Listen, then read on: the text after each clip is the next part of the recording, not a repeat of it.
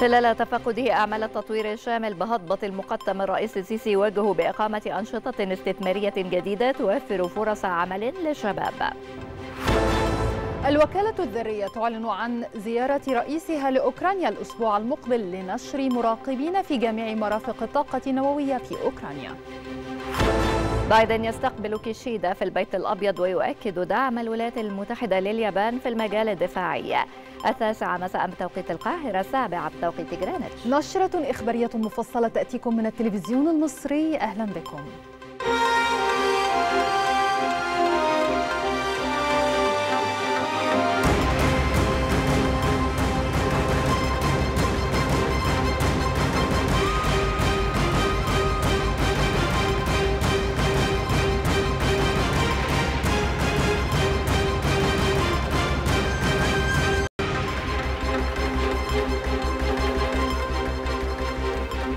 تفقد الرئيس عبد الفتاح السيسي أعمال التطوير الشامل لهضبة المقطم. وخلال تفقده أعمال التطوير شدد الرئيس السيسي على إقامة أنشطة استثمارية جديدة توفر فرص عمل لأكبر عدد من الشباب بما في ذلك أعمال إقامة محاور وطرق إضافية وإنشاء حوائط داعمة للهضبة حفاظا على أمن المواطنين.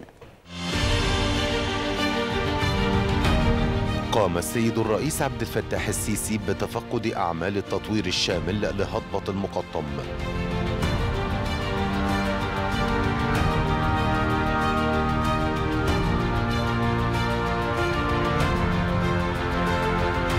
المتحدث الرسمي باسم رئاسة الجمهورية صرح بأن السيد الرئيس شدد على إقامة أنشطة استثمارية جديدة توفر فرص عمل لأكبر عدد من الشباب.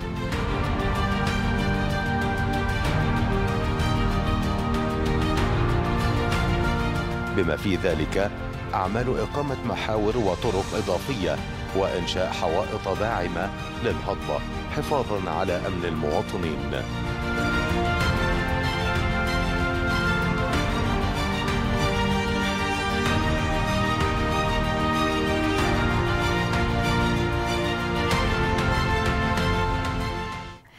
أعلن التحالف الوطني للعمل الأهلي التنموي عن إطلاق أكبر مبادرة إطعام في مصر تحت عنوان خيرك سابق بهدف تقديم الدعم الغذائي لنحو خمسة ملايين أسرة على مدار العام.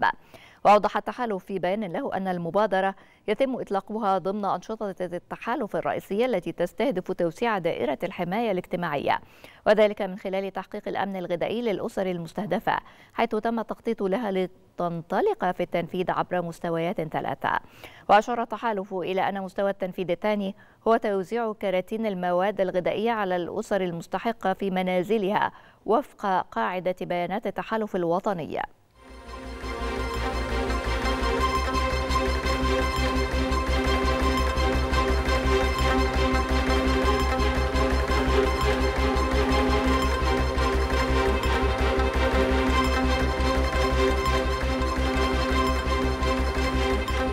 نفى المركز الإعلامي لمجلس الوزراء شائعة صدور قرار بإلغاء الصف السادس الابتدائي اعتبارا من العام الدراسي القادم 2023-2024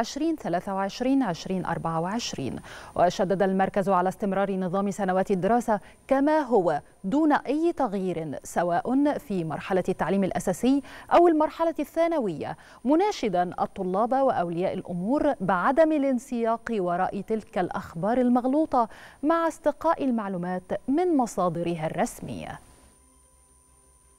واصلت وزارة الداخلية فعاليات المرحلة الثالثة والعشرين من مبادرة كلنا واحد تحت رعاية رئيس الجمهورية. والمقرر أن تستمر حتى نهاية شهر يناير لتوفير كافة السلع الغذائية وغير الغذائية بأسعار مخفضة عن مثيلاتها بالأسواق. بنسبة تصل إلى 60% بالمنافذ والسرادقات. الموضحة على الموقع الرسمي لوزارة الداخلية. وفي ذات السياق قامت وزارة الداخلية بمواصلة الدفع بسيارات منظومة أمان التابعة للوزارة محملة بكميات إضافية من السلع الغذائية بهدف طرحها للمواطنين بأسعار مخفضة عن مثيلاتها بالأسواق. وذلك بالمناطق الأكثر احتياجا بمختلف المحافظات.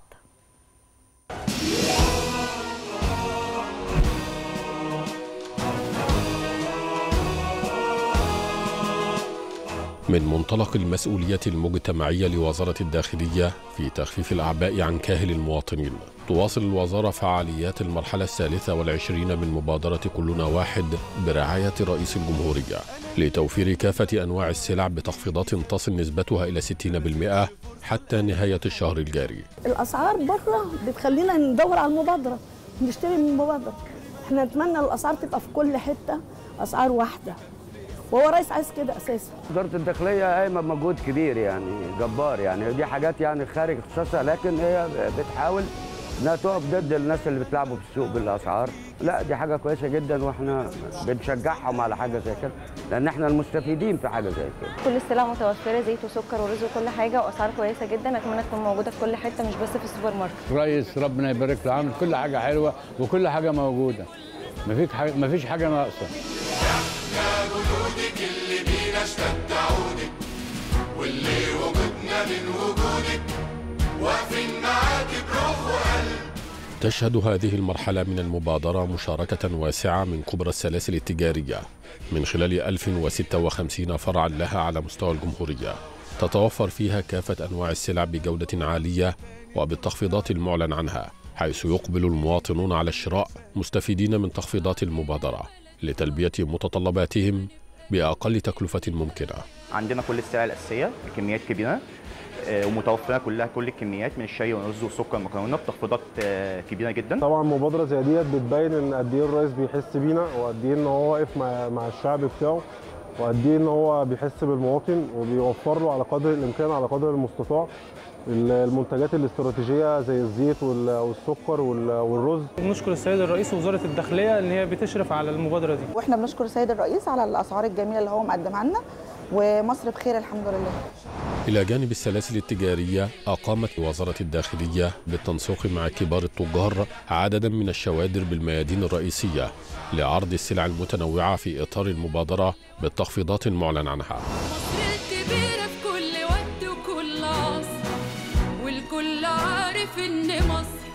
وتشارك منظومة آمان في مبادرة كلنا واحد بتخفيضات كبيرة على السلع المعروضة في منافذها الثابتة والمتحركة والتي يصل عددها إلى 1026 منفذا ثابتا ومتحركا على مستوى الجمهورية موضحة جميعها على موقع وزارة الداخلية على الإنترنت. شعب وقيادة وشرطة إحنا وكل فرد حبك علينا بلدي فرد وهنبقى جنبك للنهاية منظومة آمان تقوم بطرح كميات إضافية من السلع عبر منافذها المتحركة المنتشرة بالشوارع والميادين بتخفيضات كبيرة أشاد بها المواطنون على مستوى الجمهورية. مصر الكبيرة في كل وقت وكل عصر والكل عارف إن مصر طول عمرها أصل الحكاية. شعب وقيادة حاجة دي إنجاز عظيم للرئيس يعني حسب له الرز مدعم ب 13 جنيه في مبادرة الرئيس. ربنا يخليك لنا يا ريس يعني الرز ده بره ب 20 جنيه و 18 جنيه. كل يعني وزاره الداخليه تساهم وتنزله 13 جنيه حاجة يعني جدا يعني في رز ب 13 جنيه. كلنا واحد. مبادرة كلنا واحد. نشكر السيد الرئيس عبد الفتاح السيسي وربنا يعينه معانا. وشكرا لدعمك معانا وإن أنت حاسب بينا وربنا يخليك لمصر. تستمر مبادرة كلنا واحد في أداء دورها الاجتماعي في رفع الأعباء عن كاهل المواطنين. من خلال توفير السلع بأسعار مخفضة في كافة السلاسل والمنافذ المشاركة فيها على مستوى الجمهورية. هنا شرطة وشعب كلنا واحد مبادرة إنسانية واجتماعية تحرص وزارة الداخلية في كافة مراحلها على أن تخفف الأعباء عن كاهل المواطنين من خلال توفير السلع بأسعار مخفضة من أجل دعم ومساندة الأسر المصرية في ظل المتغيرات الاقتصادية الحالية. عبد الله بركات التلفزيون المصري. تواصل وزارة الداخلية حملاتها اليومية لمتابعة أسعار السلع الاستراتيجية وضبط قضايا حجب السلع والبيع بأسعار أزيد من السعر الرسمي حيث تمكنت خلال 24 ساعة من ضبط 591 قضية تموينية مستندية وعينية بمضبوطات بلغت أكثر من 289 طن مواد غذائية. وفي مجالي حجب السلع الاستراتيجية والاستيلاء على السلع المدعومة تم ضبط أكثر من 51 طنا وفي مجال حجب أرز الشعير والأبيض. وعدم توريد الأرز الشعير والبيع بأزيد من السعر الرسمي للأرز الأبيض تم ضبط أكثر من 229 طنا. وفي مجال البيع بأزيد من السعر الرسمي للسلع الغذائية تم ضبط قرابة تسعة أطنان. وفي مجال قضايا المخابز تم ضبط 386 قضية من بينها 161 قضية خبز ناقص الوزن و142 وأربعون قضية خبز غير مطابق للمواصفات. وفي مجال القضايا التموينية المتعلقة بغش الأعلاف تم ضبط 12 قضية بمضبوطات بلغت قرابة 804 أطنان. شدد وزير الخارجية سامح شكري على أهمية إدراك أن الوصول للطاقة لكافة الدول والتحول في الطاقة لن يتحققا دون ضمان التمويل الكافي ونقل التكنولوجيا للدول النامية منوها بإطلاق مصر للمنتدى العالمي للهيدروجين المتجدد خلال مؤتمر المناخ. وخلال كلمته في الاجتماع الوزاري لمؤتمر صوب الجنوب تحت رئاسة الهندية لمجموعة العشرين. أكد شكري ضرورة تبني نهج شامل للتعامل مع مختلف التحديات. مشيرا إلى أهمية مجموعة العشرين في توفير الزخم اللازم لإعادة صياغة النظام الاقتصادي الدولي للاستجابة بصورة فعالة وفي توقيت مناسب للتحديات التي تواجهها دول الجنوب معربا عن التزام مصر بالانخراط البناء في النقاشات والمبادرات.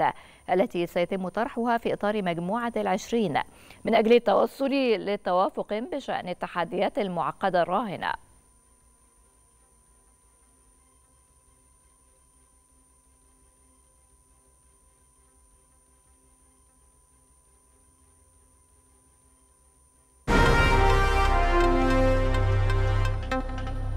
قال المستشار الألماني أولاف شولتز إن ألمانيا تجري محادثات مع الحكومة العراقية بشأن إمكانية استيراد الغاز الطبيعي. وفي مؤتمر صحفي مشترك مع رئيس الوزراء العراقي محمد شياع السوداني في برلين. صرح شولتز بأن المباحثات تناولت إمكانية شحن الغاز محتملة لألمانيا وتم الاتفاق على البقاء على اتصال وثيق بهذا الشأن. ألمانيا قامت بدعم العراق في الأعوام الأخيرة. سيما ليتمكن العراق من تحقيق الاستقرار بعد الفضائع التي ارتكبتها داعش. والعراق قد يكون طبعا لنا طبعا نتمناه كثيرا فيما يتعلق بالغاز والبترول. ولكن بغض النظر عن هذه القرارات نريد أن نحرص أن هنا في ألمانيا وفي العالم أن نتمكن أيضا من استخدام الهيدروجين. من جانبه أعلن رئيس الوزراء العراقي محمد شياع السوداني توقيع مذكرة تفاهم مع شركة سيمنز الألمانية لزيادة إنتاج الطاقة وتحسين عمليتي النقل والتوزيع. من ناحية أخرى أكد رئيس الوزراء العراقي قدرة الأجهزة الأمنية على ردع الإرهاب وعدم الحاجة لقوات من التحالف الدولي. وهو موجود الآن وهو فريق للاستشارة. هذا الاجتماع الذي سوف يؤسس لعلاقة وشراكة استراتيجية بين العراق وألمانيا.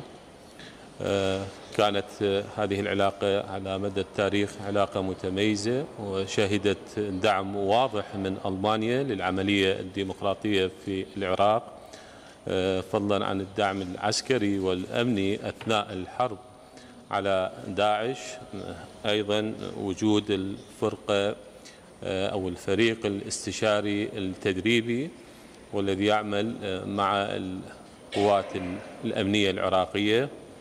كل ذلك محط تقدير وثناء ولا ننسى الدعم الإنساني والتنموي الذي قدمته ألمانيا وخصوصا في المحافظات والمناطق المحررة.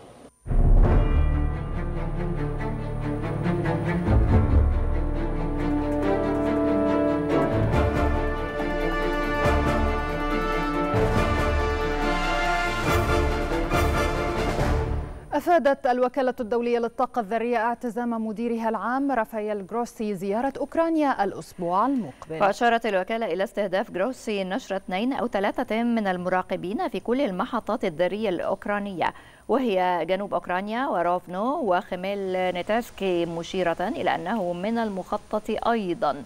إرسال الخبراء إلى محطة تشيرنوبل الذرية التي تم إيقافها عن العمل في أعقاب الكارثة في عام 1986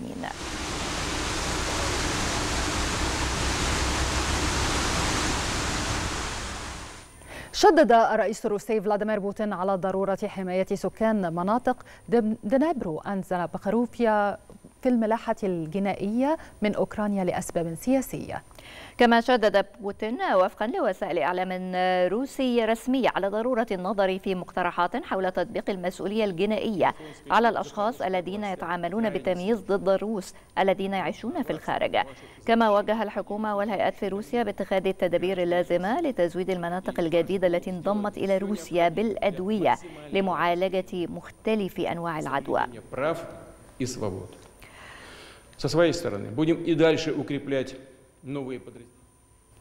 أعلنت وزارة الدفاع الروسية أن قواتها سيطرت على بلدة, بلدة سوليدار الأوكرانية وفي رد على تصريحات روسيا أعلن وزير الدفاع الأوكراني أن الوضع في سوليدار صعب للغاية لكنه ما زال تحت السيطرة مدينة سوليدار قطعة شطرنج جديدة على رقعة المواجهة بين روسيا وأوكرانيا بعد نحو 11 شهرا على بدء الأزمة المواجهة في المدينة ما زالت مشتعلة. وما بين محاولات سيطرة واستماتة دفاعية يقف العالم مترقبا لما ستسفر عنه المواجهة في هذه المنطقة المهمة. أحدث الإعلانات الرسمية بشأن المدينة الأوكرانية جاء على لسان وزارة الدفاع الروسية التي أعلنت سيطرة موسكو على سوليدار، مشيرة إلى أن تلك السيطرة ستسمح لقواتها بقطع تقدم القوات الأوكرانية إلى بلدة باخموت القريبة والأكبر بكثير. ففي هذا الإطار تتمسك موسكو موسكو بتحقيق النصر هناك بأي ثمن.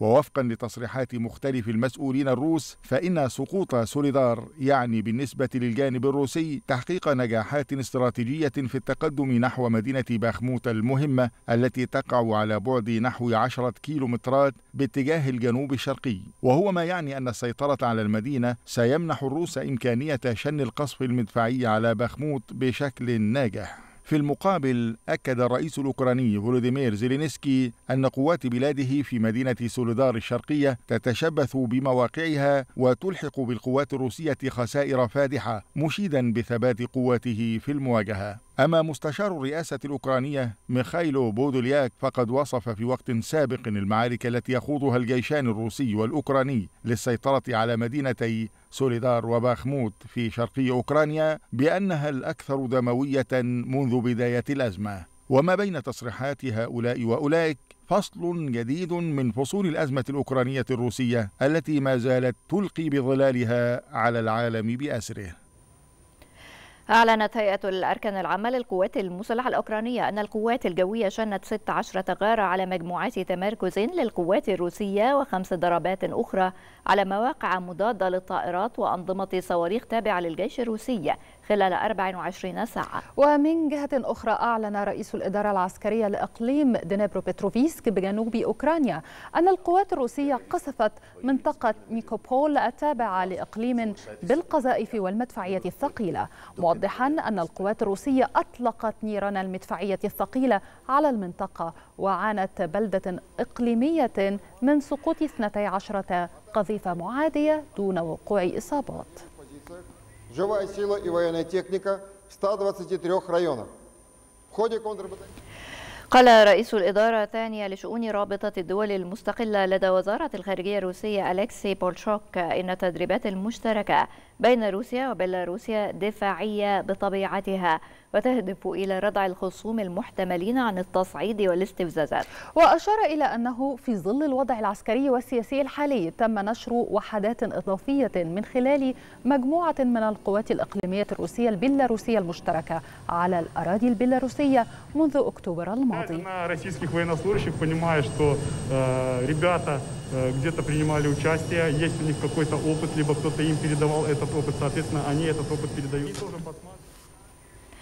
أعلن وزير الدفاع الفرنسي سيباستيان ليكورنيو أن بلاده ستدعم أوكرانيا بدبابات من طراز AMX 10 RC في غضون الشهرين وأعرب في بيان عقب إجرائه محادثات مع نظيره الأوكراني عن أمله في أن يتم تسليم الدبابات بحلول مارس المقبل. مؤكدا دعم فرنسا لأوكرانيا بشكل عام في أزمتها ضد روسيا. وكان الرئيس الأوكراني فلوديمير زلنسكي قد طالب بالحصول على دبابات من طراز ليبارد 2 والتي يستخدمها العديد من الحلفاء الأوروبيين La diplomatie russe nous dit que l'Ukraine, ce n'est pas un problème territorial, c'est pas un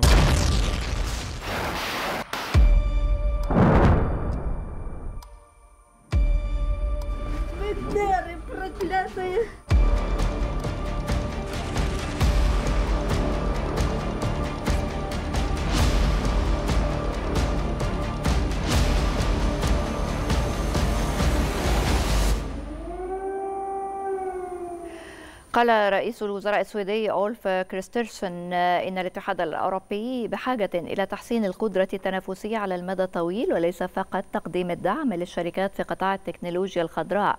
الذي تقدم فيه دول مثل الصين والولايات المتحدة الإعانات. وخلال مؤتمر صحفي مع رئيس المفوضية الأوروبية أورسولا فون دير لاين أضاف كريسترسون أنه يتعين على الأوروبيين بدء نقاش حقيقي حول سبل تحسيس الإنتاجية تحسين الإنتاجية وتعزيز التنافسية وجذب مزيد من الشركات اعتمادا على القدرات وليس على قواعد الدعم الحكومي على المدى الطويل.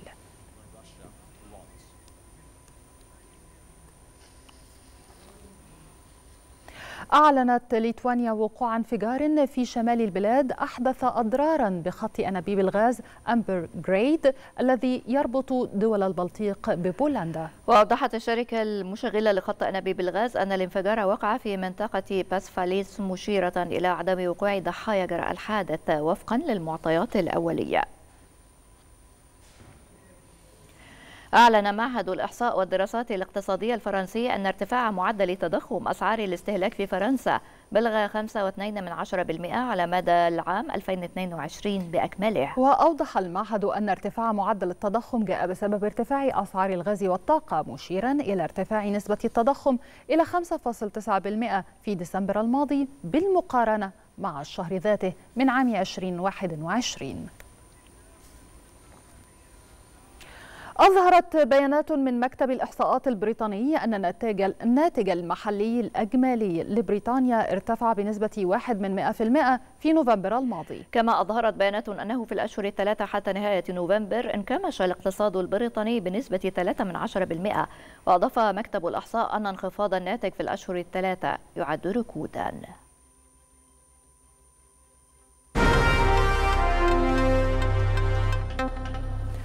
شدد الرئيس الأمريكي جو بايدن على دعم بلاده لليابان في المجال الدفاعي مشيدا بتعزيز اليابان لمستويات إنفاقها الدفاعي في استراتيجياتها الجديدة. وخلال استقباله رئيس الوزراء الياباني فوميو كيشيدا في البيت الأبيض أعرب بايدن عن شكره لكيشيدا على قيادته القوية لليابان والعمل مع الولايات المتحدة في مختلف المجالات. لا أعتقد أن هناك وقت كنا أقرب إلى اليابان من هذه اللحظة. نحن نقوم بتحديث تحالفنا العسكري بالبناء على الزيادة التاريخية لليابان في الإنفاق الدفاعي ضمن استراتيجيتها الوطنية الجديدة. اسمحوا لي أن أكون واضحا تماما. إن الولايات المتحدة ملتزمة تماما بالتحالف والأهم من ذلك الدفاع عن اليابان والعمل عن كسب بشأن القضايا التقنية والاقتصادية. أكد رئيس الوزراء الياباني أن استراتيجية اليابان الدفاعية الجديدة ستكون مفيدة لتحالف طوكيو مع واشنطن. كما لفت كشيدا إلى أن بلاده تواجه مع الولايات المتحدة. تحديات بيئية وأمنية معقدة. معربا عن امتنانه لجهود واشنطن بشأن أمن المنطقة. تواجه اليابان والولايات المتحدة حاليا البيئة الأمنية الأكثر تحديا وتعقيدا في التاريخ الحديث ومن أجل ضمان سلامنا وازدهارنا وضمان أمننا صاغت اليابان استراتيجية جديدة للأمن القومي وبذلك قررت اليابان تعزيز قدراتها الدفاعية بشكل أساسي بما في ذلك امتلاك قدرات الضربات المضادة. أجرت كوريا الجنوبية والولايات المتحدة الأمريكية مناورات عسكرية مشتركة في منطقة باغو بكوريا الجنوبية وشهدت المناورات مشاركة لواء نمر الجيش الذي تم إنشاؤه لدعم تكامل الجيش الكوري الجنوبي واستخدام تقنيات للصناعة الحديثة. كما شهدت تدريبات تكتيكية للمدرعات وأخرى للفرق والفصائل.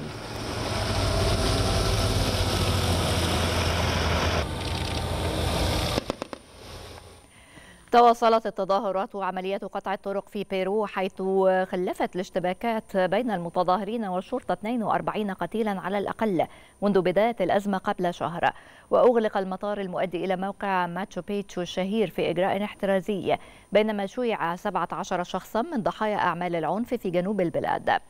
وتجمع متظاهرون في العاصمة ليما مطالبين باستقالة الرئيسة دينا بولوارتي وإجراء انتخابات مبكرة ودعا المتظاهرون إلى المشاركة بهذا التجمع رافضين سقوط ضحايا آخرين ومطالبين بإنهاء ما أسموه بالديكتاتورية المدنية والعسكرية pueblo unido jamás será vencido.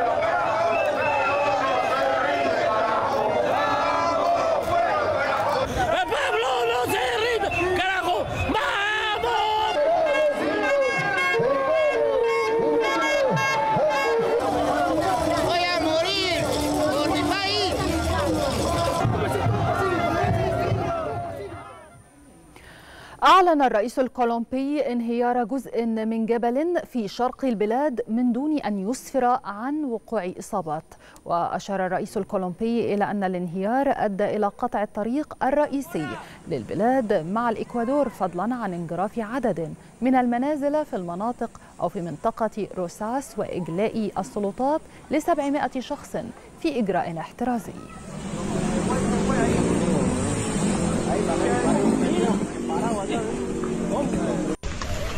y nada, dice uno, dice puta madre.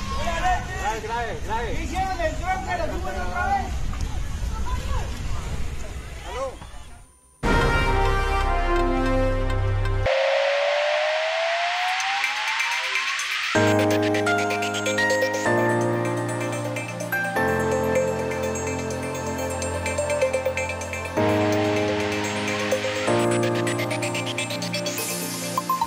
وعن أحوال الطقس فيتوقع خبراء هيئة الأرصاد الجوية أن يسود غدا السبت طقس بارد في الصباح الباكر معتدل نهارا على القاهرة الكبرى والوجه البحري والسواحل الشمالية وشمال الصعيد.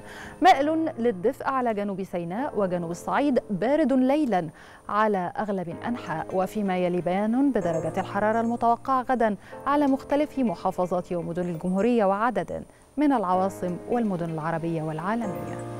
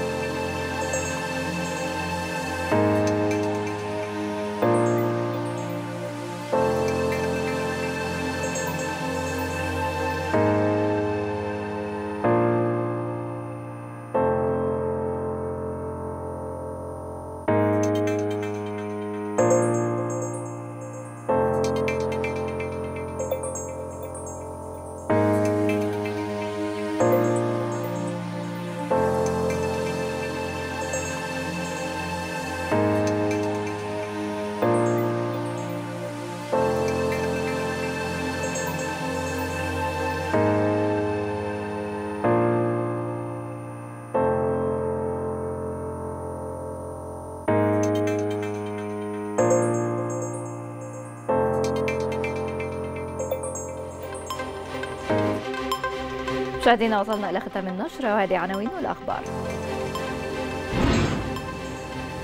خلال تفقده أعمال التطوير الشامل بهضبة المقطم الرئيس السيسي يوجه بإقامة أنشطة استثمارية جديدة توفر فرص عمل للشباب. الوكالة الدارية تعلن عن زيارة رئيسها لأوكرانيا الأسبوع المقبل لنشر مراقبين في جميع مرافق الطاقة النووية في البلاد. بايدن يستقبل كيشيدا في البيت الأبيض ويؤكد على دعم الولايات المتحدة لليابان في المجال الدفاعي.